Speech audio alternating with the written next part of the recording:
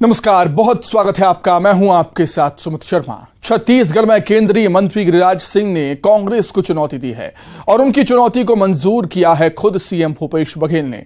मामला फ़सलों की एमएसपी, यानी न्यूनतम समर्थन मूल्य का है।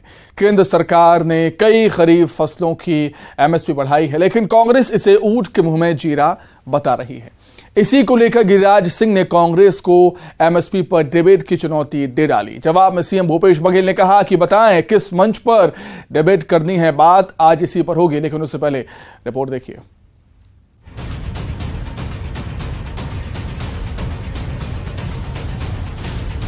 केंद्र सरकार ने धान सहित कई खरीफ फ़सलों की एमएसपी, यानी मिनिमम सपोर्ट प्राइस को बढ़ा दिया है। बीजेपी इसे किसानों के हित में एक बड़ा फैसला बता रही है, लेकिन कांग्रेस के ये ऊँट के मुँह में जीरा लग रहा है। एमएसपी पर कांग्रेस के इस रिएक्शन से नाराज़ केंद्रीय ग्रामीण विकास और पंचायत राज्य मंत्री गिरिराज सिंह ने कांग्रेस को डिबेट की चुनौती दे डाली है। दरअसल, मोदी सरकार के नौ साल पूरे होने के मौके पर केंद्रीय मंत्रियों का अलग अलग राज्यों में दौरा जारी है। इसी सिलसिले में गिरिराज सिंह का बस्तर दौरा चल रहा है। इसका मकसद न सिर्फ़ मोदी सरकार की उपलब्धियों को बस्तर तक पहुंचाना है, बल्कि राज्य विधानसभा चुनाव से पहले पार्टी की ज़मीन मज़बूत करने की भी कवायद है। इस दौरे में बीजेपी के फायर ब्रांड नेता गिरिराज सिंह कांग्रेस पर जमकर बरस रहे हैं। उन्होंने कहा कि हिम्मत है तो एमएसपी के मुद्दे पर मुझसे डिबेट कर लें। उनका कहना है कि 2014 से लेकर अब तक बीजेपी सरकार ने एमएसपी को चार गुना बढ़ाया है। उनको पता नहीं है। अगर है हिम्मत तो डिबेट कर लें कि उनके नौ साल और मोदी के नौ साल में एमएसपी किसका कितना बढ़ा है। अगर हिम्मत है तो माफ़ी मांगने के लिए तैयार रहें। भारत सरकार ने 2014 के एमएसपी से तीन गुना दो गुना चार गुना बढ़ाया है दलहन तिलहन जो इन्होंने कभी दिया नहीं। ये क्या बोलेंगे? केंद्रीय मंत्री गिरिराज सिंह के चैलेंज को सीएम भूपेश बघेल ने फ़ौरन स्वीकार भी कर लिया है। सीएम ने कहा कि मैं उनकी चुनौती स्वीकार करता हूँ, वो जिस मंच पर चाहें। एमएसपी से लेकर तेल की कीमतों पर बहस कर सकते हैं। बिल्कुल, उस चुनौती स्वीकार करते हैं। किस मंच में आना चाहते हैं, बता दें। यूपीए सरकार में कितना धान का भाव बढ़ा और एनडीए सरकार में कितने भाव बढ़ा? दस साल उनके भी हो रहे हैं, दस साल हमारे भी थे। उसमें कितना परसेंट एमएसपी बढ़ा और इस समय कितना बढ़ा? ये हम बात करने के तैयार हैं। उस समय डीजल के भाव क्या थे और इस समय क्या है? डीजल, पेट्रोल के। बिल्कुल, जिस मंच में आना चाहे। हमारा कोई भी कार्यकर्ता बैठ के उसे बात कर लेगा, कोई भी किसान बात कर लेगा। गिरिराज सिंह का चैलेंज है कि कांग्रेस पार्टी केंद्र की यूपीए सरकार के 9 साल और मोदी सरकार के 9 साल में एमएसपी बढ़ाए जाने के आंकड़े की एक बार तुलना कर लें और माफ़ी मांगने के लिए तैयार रहें। इतना ही नहीं, उन्होंने छत्तीसगढ़ में धर्मांतरण सहित कई और मुद्दों पर भी सरकार को घेरने की कोशिश की है। जवाब में सीएम भूपेश बघेल ने कहा कि रमन सिंह के समय जितने चर्च बने, उतने कभी नहीं बने। उनका दावा है कि बीजेपी के 15 साल के शासन में जितना धर्मांतरण हुआ, उतना कभी नहीं हुआ। ममता लांजेवर के साथ युगल तिवारी, न्यूज़ 18 रायपुर।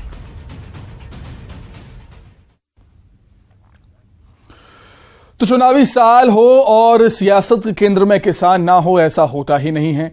छत्तीसगढ़ में भी ऐसा ही देखने को मिल रहा है। चुनावी साल है और एक बार फिर से किसानों के मुद्दे पर सियासत हमें देखने को मिल रही है और इसी पर चर्चा करने के लिए खास मेहमान हमारे साथ जुड़े हुए हैं। बीजेपी से हैं रविंद्र सिंह जी और कांग्रेस से भी हमारे साथ जुड़ेंगे। हमारे एक कांग्रेस नेता सत्यप्रकाश सिंह जी उनसे भी हम बातचीत करेंगे। लेकिन सबसे पहले रविंद्र सिंह जी आपका स्वागत करता हूँ। न्यूज़ एटीन मध्य प्रदेश छत्तीसगढ़ में क्या कुछ कहना चाहेंगे? गिरिराज सिंह ने चैलेंज दिया और सीएम भूपेश बघेल ने उसे एक्सेप्ट भी कर लिया। उचित कहा है एमएसपी में भी धान पे। इक्कीस सौ तिरासी रुपया हुआ है। एक सौ तिरालीस रुपये एमएसपी में शुद्ध वृद्धि की गई है। इसके पहले 2040 था। और मनमोहन सिंह सरकार के समय एमएसपी कितना था? लास्ट टाइम सोलह सौ रुपए के आसपास। आज कम से कम पाँच सौ रुपए एमएसपी में वृद्धि। मैं केवल धान की बात कर रहा हूँ, क्योंकि छत्तीसगढ़ से बिलोंग करता हूँ और छत्तीसगढ़ में धान का कटोरा है। तो छह सौ सात सौ रुपए की वृद्धि, यदि मोदी जी के आने के बाद होता है तो ऐतिहासिक वृद्धि है। मोदी जी ने वैसे भी 2018-19 में कम से कम दो सौ रुपए की एक बार में वृद्धि की थी धान में। इसके पहले मनमोहन सिंह के समय का आप इतिहास उठा के देख लो, कभी भी पचास रुपए, साठ रुपए से ज़्यादा नहीं हुआ एक बार दो सौ और अभी एक रुपया। मतलब वर्तमान जो लागत का मुनाफा है, उसका फिफ्टी के आसपास मोदी जी ने किया है। तो सबसे बड़ी बात यह है इस तथ्य के बाद भी यदि भूपेश बघेल जी ये बोलते हैं कि कितना बड़ा बढ़ा है और हमारे समय क्या था तो आँख के रहते हुए भी, अंधों के जैसा हरकत करने जैसा मुझे लगता है। और उनको तो हर चीज़ में मोदी जी का विरोध करना है। वो बढ़ाएँगे तो तकलीफ़ है, नहीं बढ़ाएँगे तो चीखेंगे। तो ये पूरी तरह भूपेश बघेल जी का पूर्वाग्रह से ग्रसित और नकारात्मक राजनीति का एक अत्युत्तम उदाहरण है। मैं कहता हूँ कि गिरिराज सिंह जी कह रहे हैं, किसी भी मंच पर भूपेश बघेल आकर यदि चर्चा करने की हिम्मत है, कर ले। हम भी हैं, हमने चुनौती दिया है, वो चुनौती स्वीकार करे। भारतीय जनता पार्टी का एक छोटा सा छोटा कार्यकर्ता भी एमएसपी पे चर्चा कर लेगा उनसे और मुखी खा के आएँगे। यदि धान के अतिरिक्त भी देखें आप, ज्वार पे इकतीस सौ अस्सी रुपया किया ज्वार पे दो सौ पैंतीस रुपया बढ़ाए हैं, कम से कम बाजरा में डेढ़ सौ रुपए, रागी में तो दो सौ अड़सठ रुपए, तूर अरहर में चार सौ रुपए की वृद्धि की है एक अभी अभी के लिए। इतना कभी नहीं हुआ इतिहास में। और जो हो रहा है किसानों के हित में है। सरकार जो है छत्तीसगढ़ की, वो कांग्रेस की, वो किसानों का समर्थक होने की बात करती मैं बोलता हूँ, किसान विरोधी सरकार है कि इतने एमएसपी बढ़ने के बाद उनको स्वागत करना चाहिए। हर चीज़ को राजनीति से नहीं देखना चाहिए। यदि वो ऐसा कर रहे हैं तो किसानों के साथ गलत कर रहे हैं, उनको हतोत्साहित कर रहे हैं। तो क्यों, आखिर क्यों फिर कांग्रेस को जो एमएसपी में वृद्धि की है केंद्र सरकार ने, उसे कांग्रेस ईद के मुँह में जीरा बता रही है? आपको क्या लगता है, क्यों ऐसा कर रही है कांग्रेस? जब पचास रुपए, साठ रुपए मनमोहन सिंह कहते थे तो उनको तो पोटली पोटली भर का लगता रहा होगा वो।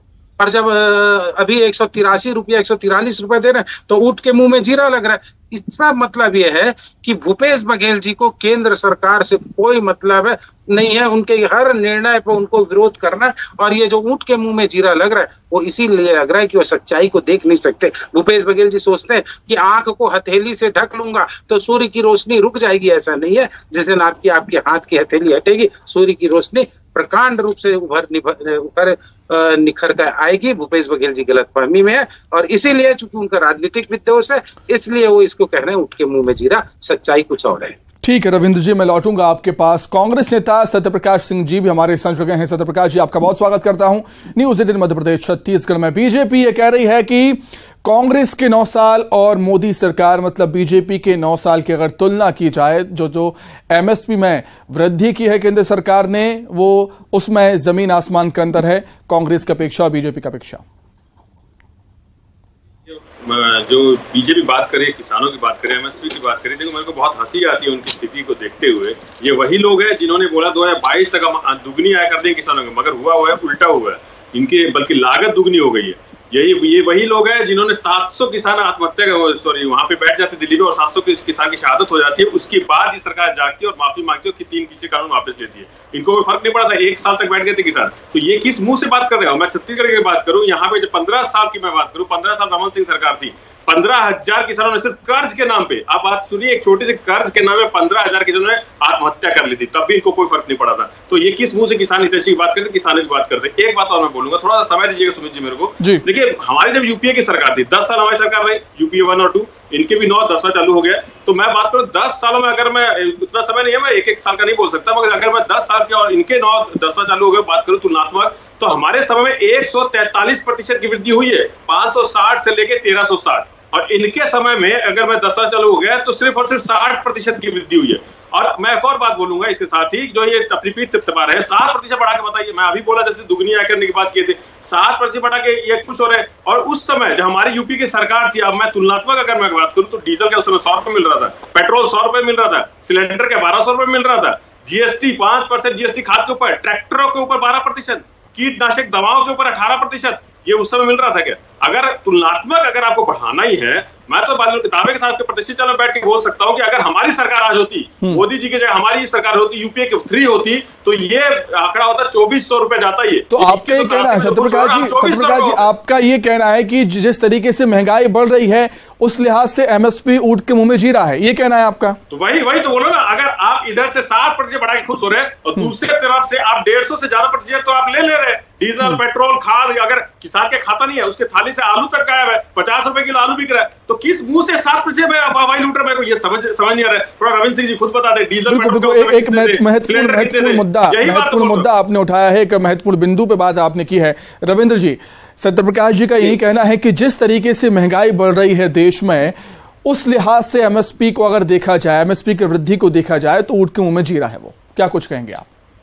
ये अब तुलना कर रहे हैं महँगाई से। हम्म। उस समय क्या पेट्रोल डीजल का रेट नहीं था? कहते थे अस्सी रुपया मनमोहन सिंह जी के समय।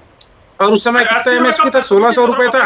अरे बीस रुपए। बढ़ा होगा तो अब देखो अरे एक 80 रुपए चीज़ नहीं था। पहली बात तो पचास सत्यप्रकाश जी आप साठ सत्यप्रकाश जी मैं लौटूँगा। आप में बोलते हैं मैं लौटूँगा। बीच में हैं, लौटूँगा।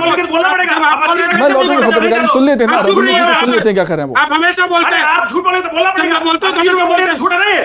संयम संयम रखिए संयम रखिए सर प्लीज़ प्लीज़ झूठ क्यों बोलेंगे? विनम्रता से निवेदन है? आप आप दोनों से बड़ी विनम्रता से निवेदन कर रहा हूँ बोल तो लौटूँगा मैं लौटूँगा बोल रहे थे तो मैं सुन रहा था ना। गलत बोलिए और तो तो तो अरे सत्यप्रकाश जी कौन गलत बोल रहा है कौन सही बोल रहा है ये जनता तय कर लेगी ना। अब मैं मैं लौटूँगा प्लीज़ प्लीज़ मैं लौटूँगा आपके पास। जी रविंद्र जी कहिए। नहीं ये हर डिबेट में हमेशा मुझे टोकते हैं। इनको सिखा के भेजा गया है। या डिबेट में नहीं आए जब ये बोल रहे थे तो मैं सुन रहा था। ठीक है ठीक है। सुनिए आप। मैं संयम रखिए संयम रखिए दोनों ही संयम रखिए बड़ी ही विनम्रता से निवेदन है दोनों ही संयम रखा हुआ मैंने सुना है। मैंने ठीक है रविंद्र जी सुना कहिए जी कहिए। चलिए देखिए। जी। रही बात है पेट्रोल डीजल की महँगाई की तुलना कर रहे हैं एमएसपी से। जब अस्सी रुपया इक्यासी रुपया कहते हैं डीजल पेट्रोल का रेट था तो एमएसपी सोलह सौ था। आज ज़्यादा से ज़्यादा सौ रुपए है। वो भी जब यूक्रेन से युद्ध हो रहा है जब हमको क्या कहते हैं फर्टिलाइजर्स नहीं मिल रहे हैं। हमारे आल फर्टिलाइज़र के प्ला- रॉ प्रोडक्ट बाहर से आते हैं। हम 400 परसेंट उर्वरक में सब्सिडी में छूट दे रहे हैं। रही बात एमएसपी में कम से कम धान पे 700 रुपए की स- हमने वृद्धि की है वो इनको दिखता नहीं है। ये कहाँ चलेगा पेट्रोल और उसमें महँगाई में। अरे अभी बात हो रही है एमएसपी की वृद्धि की उस पर चर्चा करिए आप। पेट्रोल डीजल का विषय अलग होगा उस पर बाद में चर्चा करेंगे। और रही बात किसानों की आत्महत्या की बोल रहे हैं ना और किसान कर्ज में मर गए। सबसे पहले यदि ज़ीरो परसेंट में छत्तीसगढ़ में कर ऋण देने की शुरुआत की थी, थी डॉक्टर रमन सिंह ने किया था। किसान जाते थे मारवाड़ियों के पास, बनियों के पास, साहूकारों के पास, जिनसे वो पैसा मांगते थे ब्याज पे रमन सिंह ने फ्री ज़ीरो परसेंट में ब्याज मुक्त ऋण दिया था। दूसरी बात 24 घंटे बिजली हमने उनको फ्री दिया। पंप कनेक्शन हमने फ्री दिया। आज कम से कम डेढ़ लाख किसानों का पंप कनेक्शन भूपेश बघेल की सरकार ने रोक के रखा हुआ है और दो साल से बोनस नहीं दिए। ये हमको किसानों की बात करते हैं। अभी राजनाथ गाँव में कुछ दिन पहले किसान आत्महत्या किया। इनको शर्म नहीं आती उसमें बोलते हुए और भूख से एक मौतें छत्तीसगढ़ में नहीं हुए, क्योंकि एक रुपया किलो चावल हमने दिया, हमने सुरक्षा दिया, हमने इनकी चिंता की, हम किसानों के बारे में बात की एमएसपी पे हम नहीं केंद्र सरकार भी चिंता कर रही है। इसका स्वागत करने के बजाय ये विरोध करते ये इनकी नकारात्मक राजनीति का एक हिस्सा है। मैं इससे ज़्यादा कुछ नहीं बोल सकता। ठीक है रविंद्र जी मैं लौटूँगा। आपको सत्य प्रकाश जी अगर केंद्र में कांग्रेस की सरकार होती और यही वृद्धि होती एमएसपी में तो क्या आपको ये ऐतिहासिक फैसला लगता? अभी बीजेपी की सरकार है शायद विपक्ष के तौर पर सीएम भूपेश बघेल या कांग्रेस की सरकार उसका विरोध कर रहे हैं। सत्यप्रकाश जी। देखिए सुमित जी मैं आपके सवाल का जवाब दूँगा। सबसे पहले मैं इनको थोड़ा सा और बोल देता हूँ। इनका जवाब देना चाहूँगा मैं। देखिए, इन्होंने किसान कर्ज की बात की। 2014 जब हमारी सरकार गई, यूपीए टू जब कार्यकाल खत्म हुआ, तब छह लाख करोड़ का कर्ज था किसानों में भारत के किसानों पे। आज सत्रह लाख करोड़ कर्ज हो चुका है। ये किसकी वजह से हुआ है? आप अगर एक तरफ़ सात परसेंट बढ़ाएँगे, दूसरी तरफ़ सौ, डेढ़ सौ परसेंट अगर महँगाई बढ़ रही है तो वो आत्महत्या करेगा ना, उसके ऊपर कर्ज ही बढ़ेगा तो ये लगातार जा रही है। और एक छोटी सी बात और मैं बोलूँगा देखिए, ये नौ साल की बात कर रहे ना, मैं और पीछे चला जाता हूँ, चलिए, अटल सरकार की बात कर लेता हूँ। इनके पाँच साल अटल सरकार भी थे। उस पाँच सालों में सिर्फ़ और सिर्फ़ साठ रुपए की वृद्धि हुई थी, सिर्फ़ साठ रुपए की। उसके बाद भी जब यूपीए वन थी यूपीए वन में हमने नौ सौ रुपए की वृद्धि की थी। तो ये ये शुरू से ही अब मैं पुराने की बात कर करूँ अटल सरकार की मोदी सरकार, ये कभी किसान हितैषी नहीं रहे। मैं और यहाँ की बात कर रहा ना, अरे धान का कटोरा कहने वाले का, आपने धान के ऊपर भी गड़बड़ी की। छत्तीस हज़ार करोड़ का धान खा गए आप लोग गरीबों के राशन का डुप्लीकेट राशन का बनते थे। ये हालात थी इन्होंने गरीबों को तो इन्होंने कभी पूछा नहीं। सिर्फ़ और सिर्फ़ उद्योगपतियों को, जो मोदी जी वहाँ दो लोगों को पूछते, देखिए अभी भी रिपोर्ट आई थी पिछले 20 जो 20 टॉप 20 है, उसमें से 18 उद्योगपति ऐसे हैं जिनकी जो संपत्ति में गिरावट आई है, मगर दो उद्योगपति ऐसे हैं जिनकी संपत्ति में वृद्धि हुई है, वो दो कौन है? अडानी अंबानी। तो ये क्यों हो रहा है? आदिवासी जो गरीब है गरीब होता जा रहा है अमीर है अमीर होता जा रहा है। ये पंद्रह साल थे तब धान में गड़बड़ी कर दी छत्तीसगढ़ का धान घोटाला कर दे राशन कार्ड घोटाला कर डाले। तो इनकी सरकार ने कभी गरीबी लोग गरीब लोगों के बारे में सोचा ही नहीं। हमारी सरकार किसान हितैषी सरकार है मुख्यमंत्री किसान पुत्र मुख्यमंत्री है। उनको मालूम है कि किसानों को क्या चाहिए किसानों को क्या दर्द है किसानों को क्या मिले जो उनकी उनकी सहूलियत बढ़े उनकी जीवन स्तर और बेहतर हो। उसके तहत और एक और बात बोलूँगा इनको एक, और बात याद दिला देता हूँ हम्म। पंद्रह साल ये थे। घोषणा पत्र में लिखा था, समर्थन मूल्य इक्कीस सौ रुपए नहीं दिया। तीन सौ रुपए बोनस नहीं दिया। हमारे तो मुख्यमंत्री जी ने बोला था, आप माफ़ी मांग लीजिए तो तीन सौ रुपए समर्थन हम दे देंगे। तो ये ये हालात इनके थे। कभी उन्होंने नहीं पूछा किसानों को। पंद्रह हज़ार किसान मार गए सात सौ वहाँ मार गए कभी नहीं पूछा। चलिए ठीक है। ये ये, ये तो बात किसानों को सत्यप्रकाश जी एक और महत्वपूर्ण मुद्दे पर हम बात कर लेते हैं जिसका ज़िक्र हुआ है आज के दिनों में धर्मांतरण। रविंद्र जी सीएम भूपेश बघेल कह रही है कांग्रेस कह रही है कि रमन सिंह जी की सरकार के राज में सबसे ज़्यादा चर्च बने हैं। क्या कुछ कहेंगे आप? बिल्कुल। यदि रमन सिंह की सरकार में सबसे ज़्यादा चर्च बने हैं तो विपक्ष में कौन था उस समय? कांग्रेस था। क्या वो धर्मांतरण का समर्थन करते थे कि वो चर्च बन रहा था तो वो चर्च बनने दे रहे थे? और यदि विरोध था तो क्यों विरोध नहीं किए? रमन सिंह सरकार के समय यदि चर्च ज़्यादा बन रहे थे तो आज यदि चर्च कहीं बन रहा है तो धर्मांतरण हो रहा है तो हम तो विरोध कर रहे हैं, विपक्ष की भूमिका निभा रहे तो क्या उस समय इनका समर्थन था? जब वो उसका विरोध नहीं कर रहे थे चर्च बनने का? क्या धर्मांतरण का सबसे बड़ी बात है? जब जब कांग्रेस आती है, धर्मांतरण उनका प्रमुख विषय होता है, क्योंकि इनकी सरकार यहाँ से नहीं चलती है। दिल्ली से इनकी सरकार रोम से चलती है, वेटिकन से चलता है, और वहीं से इनको फंड आता है। दूसरी बात सुन लीजिए, धर्मांतरण के लिए भी पूरे बस्तर में जो हुआ है, सबसे ज़्यादा हुआ है, सबसे ज़्यादा विरोध भारतीय जनता पार्टी ने किया हुआ है। कांग्रेस कह रही है भूपेश बघेल कह रही है, सरासर झूठ बोल रही है, और यदि बोल भी रही है तो उसका कल ही खुल गया। वो असफल थे मतलब। कि वो धर्मांतरण के लिए आपने कभी देखा कि भूपेश बघेल कभी धर्मांतरण के विरोध में उतरे हो? जब रमन सिंह के समय धर्मांतरण हो रहा था तो तो क्या चूड़ी पहनकर बैठे हुए थे? घर में आलू छील रहे हुए थे? ठीक है ठीक है ठीक है। आखिरी तीस सेकंड आखिरी तीस सेकंड मेरे पास सत्यप्रकाश जी। सत्यप्रकाश जी आखिरी तीस सेकंड। बिल्कुल सही बोल आखिरी तीस सेकंड सत्यप्रकाश जी। सही बोल रहा हूँ। बिल्कुल आपने विरोध क्यों नहीं किया यदि धर्मांतरण हो। रहा था सबसे ज़्यादा चर्चा आप विरोध क्यों नहीं किए आप कांग्रेस में थे ये गलत बात पंद्रह साल अरे आप नए नए बीजेपी ज्वाइन किया आपको मालूम नहीं होगा। हम सड़क पे उतरे थे आपने चलिए ठीक है ठीक है। समय की कमी है मेरे पास आप दोनों को रुकना चाहूँगा माफ़ी के साथ आप दोनों को रुकना चाहूँगा। रविंद जी बहुत धन्यवाद। सत्य प्रकाश जी आपका बहुत शुक्रिया। जुड़ने के लिए चर्चा में शामिल होने के लिए फ़िलहाल चर्चा में इतना ही। नमस्कार।